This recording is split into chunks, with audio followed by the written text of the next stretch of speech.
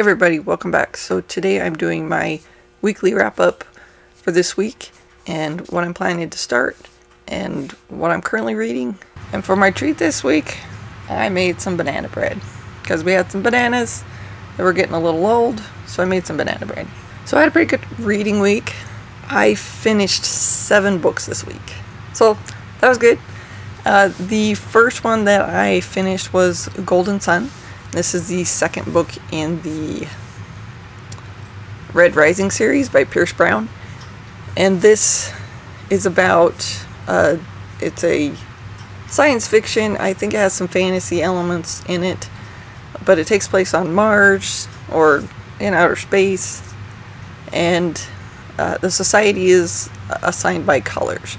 Golds are at the top and reds are at the bottom.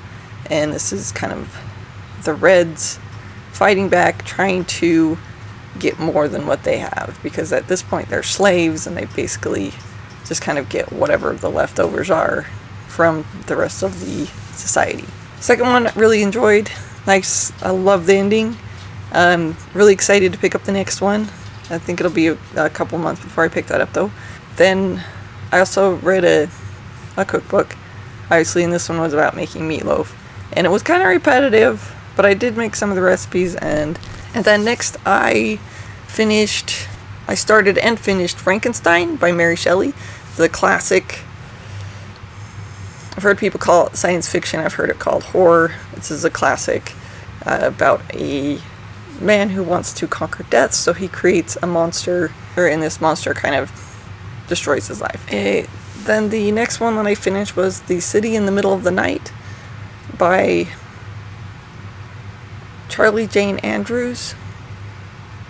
And this is, I guess it's science fiction, takes place on another planet. And there's these cities, but this planet is kind of a harsh environment. So you have places that are really cold, you have places that are really hot, and then and not really a whole lot in between. So there's really just kind of these extremes, and it's about these kids, I should probably young adults, who are trying to find a better life because they don't like the city that they're living in, and they kind of meet up with the local aliens and try to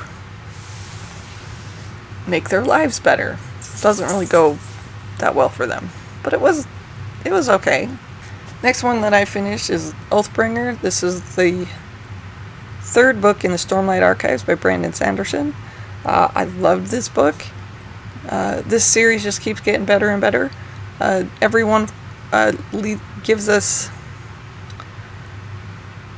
kind of an insight to a certain character. We get to know their backstory.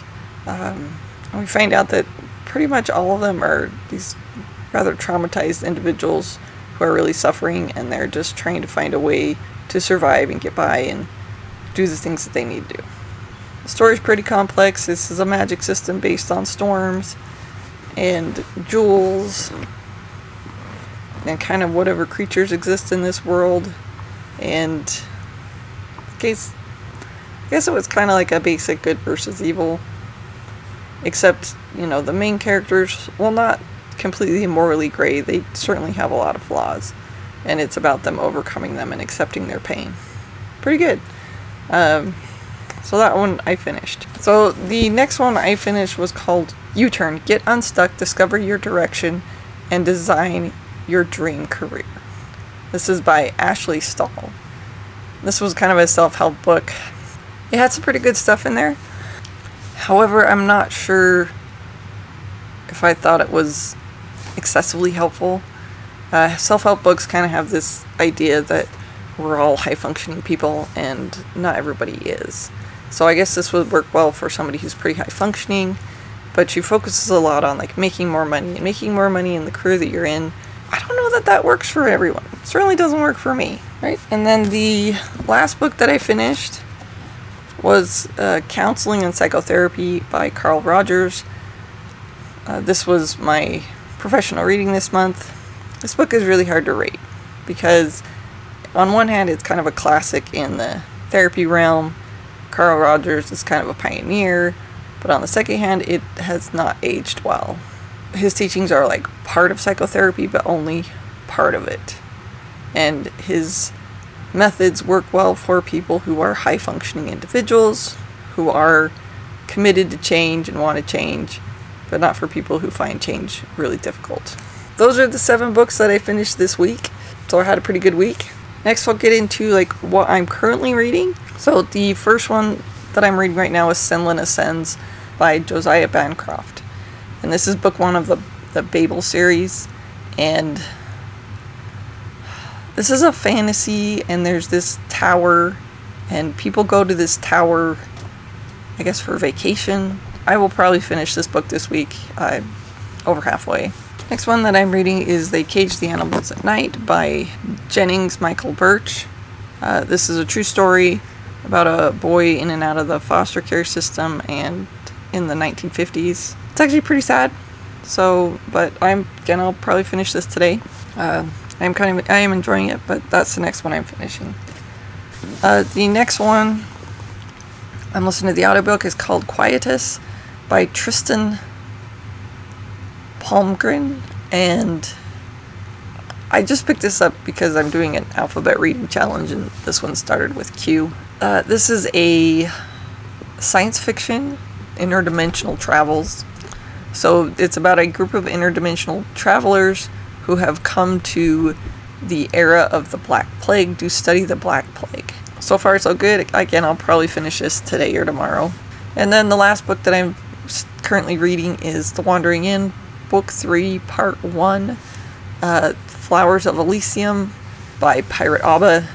And this is just one that me and my kids listen to. It's pretty long, and so we haven't, uh, it's taken a bit longer, and I only listen to it with my kids, so it's when we're listening to stuff.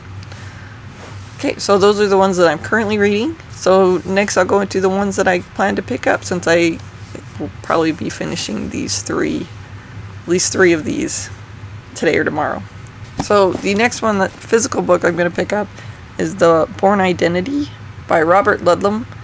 And this is a spy novel, I guess. I can't say that I found a spy novel that I'm absolutely love. Haven't read a lot, but it's a genre that movies are usually okay, so you know, I'm trying to see if maybe there's some books that might be okay. So that's the next one I'll be picking up. The next ebook I'll be picking up after Senlin Ascends is a memory called Empire, the the Teixcalaan series. This is the first book in the series. Don't know a whole lot about it, but I'll find out. And the one that I'll pick up after Quietus is the the Crimson Vault, which is the Traveler's Gate, second book in the series by Will Wight. And this is about, it's also about interdimensional travel, but it's based in a fantasy setting. And these, you have the ability to get magical items and magical powers from making deals with certain objects and things. So, those are the books that I finished. Those are the ones that I am currently reading and what I plan to pick up next. If you like the video, please like and subscribe. And I right now I'm posting videos Monday through Thursday. Have a have a great day and happy reading.